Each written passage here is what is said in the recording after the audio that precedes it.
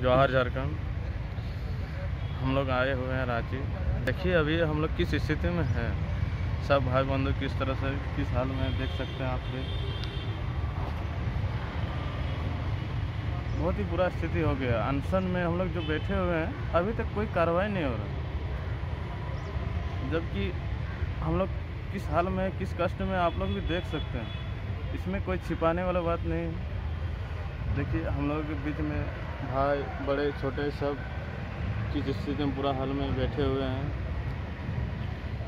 आप देख सकते हैं, अच्छे खासे।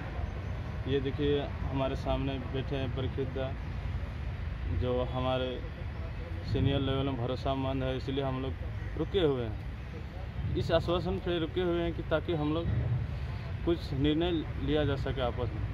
लेकिन आपस में निर्णय लेने से कुछ फ़ायदा नहीं हो रहा है। आप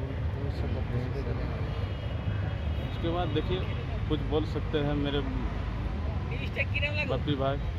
देखिए ये हम लोग अभी यहाँ व्यवस्थित है। यहाँ पे हमारे निर्दयी सरकार जिनके दिल में कोई निर्दया बल के चीज़ नहीं है हर जगह तो लोगों से मिलने के लिए सीएम सॉरी मुख्यमंत्री लोग जनता दरबार लगाते हैं और हम उनके पास यहाँ मिलने आए लेकिन उनके पास दया नाम की कोई चीज़ नहीं है।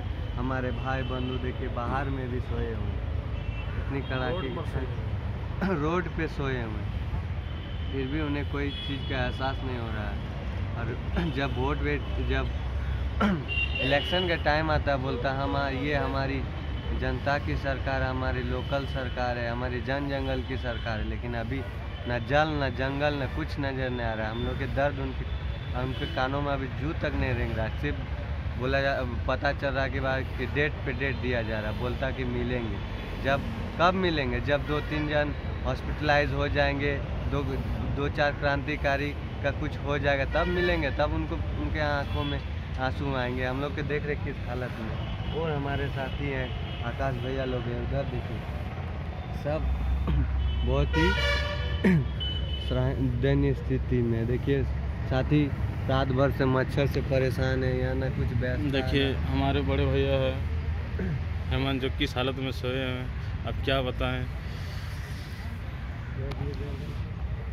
हम लोग का हम लोग का वहाँ जब चुनाव में मुख्यमंत्री जी जाते हैं तो हम लोग उनको बड़ा बड़ा मंच देते हैं बोलने के लिए बैठने के लिए बढ़िया बढ़िया कुर्सी देते हैं लेकिन हम लोग को यहाँ सोने का जगह रोड पर दिया गया है।